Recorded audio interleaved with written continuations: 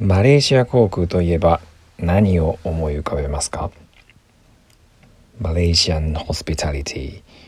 というスローガンでいろいろサービスを提供しているようですけれどもみんな声を揃えて言うのが遅れ。ほぼ間違いなく遅延します。今回登場したフライトはどうだったのでしょうか？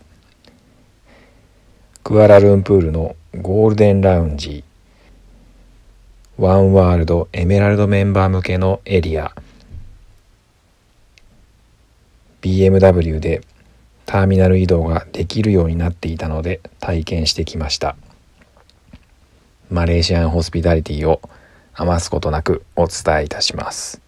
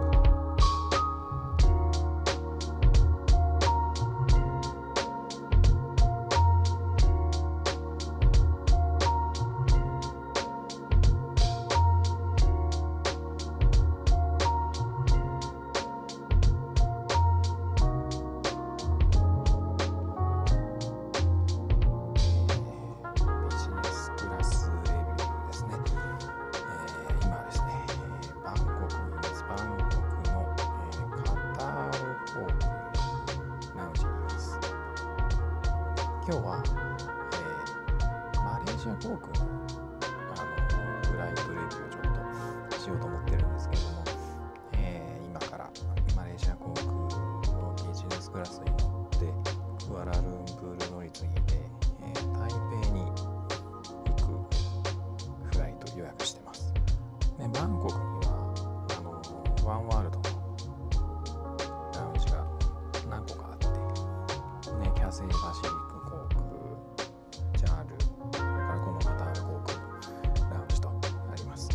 それぞれあの営業時間が異なってるんですね。カタール航空の、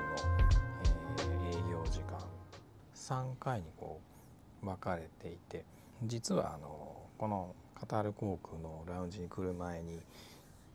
キャセイパシフィックのラウンジにいたんですねまあまあ混んでいて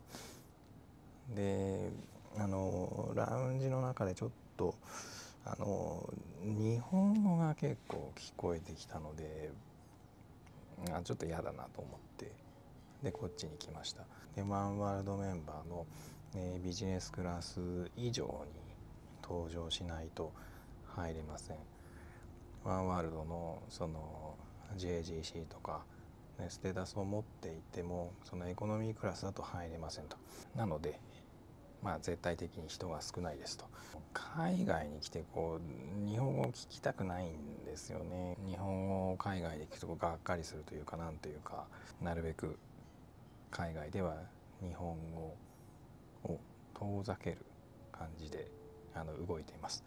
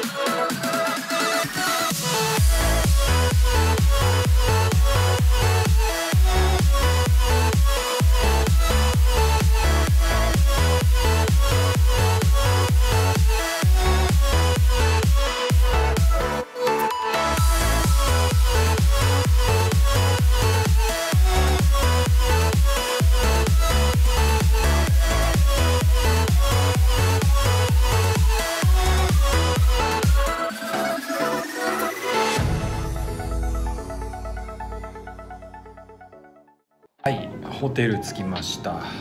えー、ムーベンピック。あのクアルンプールの空港近くのホテルですけれどもえー、えー、とフライトが1時間ぐらい遅れて到着もまあそれにつれて1時間半ぐらいですかね。